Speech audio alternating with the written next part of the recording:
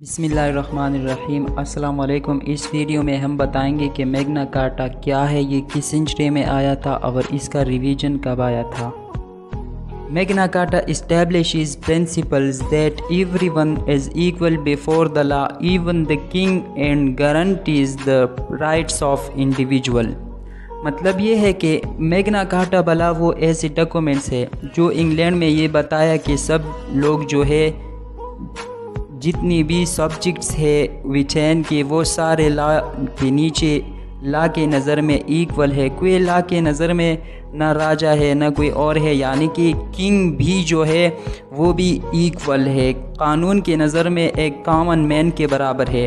और और यहाँ पर इंडिविजुअल को कुछ राइट्स दिए गए हैं, जो जो कुछ, मेगना कार्टा जो है, मेगना कार्टा में सबसे पहले इंडिविजुअल के कुछ राइट्स भी दिए गए थे। अब बात करते हैं कि मेगना काटा आया क्यों था। दरअसल में बात ये हुआ था कि 1215 में कुछ रिवियल ग्रुप जो थे वो लंदन पे अटैक किए और लंदन जो कि वह, जो कि वहाँ पर जो किंग हुआ करते थे, अभी भी किंग होते हैं तो उस वक्त के जो मतलब किंग होती थी तो वो काफ़ी स्ट्रॉन्ग होते थे। उनके पास काफ़ी बहुत पावर होता था। तो जो ये रिवियल का ग्रुप था, वो अटैक किया था और लंदन जो है, इसको लो, इसको वो लोग कब्ज़ा कर लिए थे।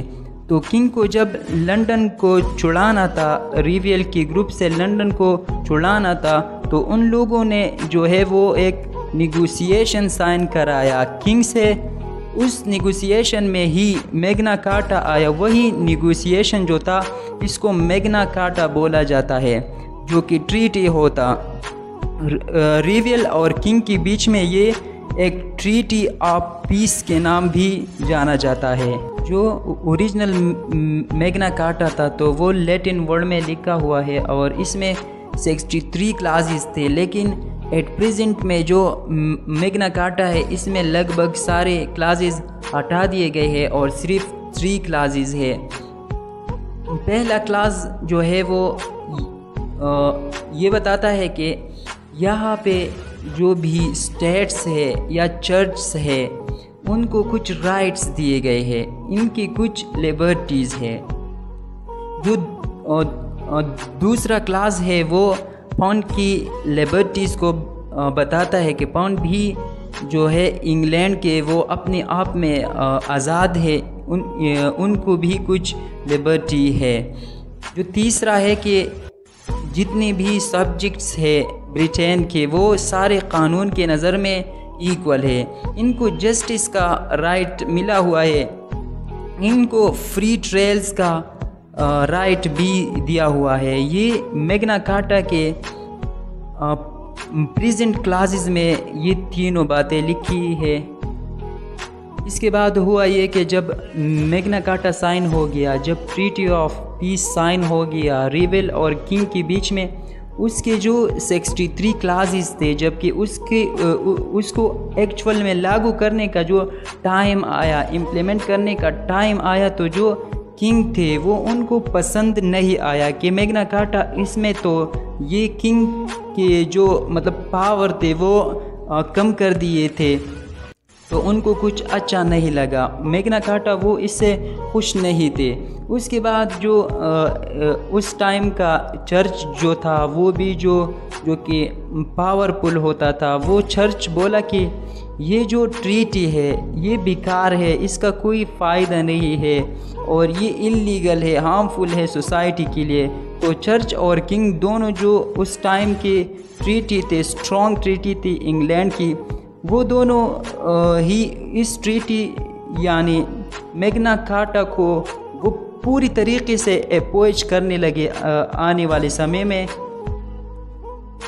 इसके बाद ये जो पोजीशन था मेगना काटा का, तब तक चला, जब तक वो किंग जो थे उस टाइम के जॉन, वो मर नहीं गया। उसके बाद 1225 में हेनरी थर्ड ने सेकंड वर्जन लेके आया।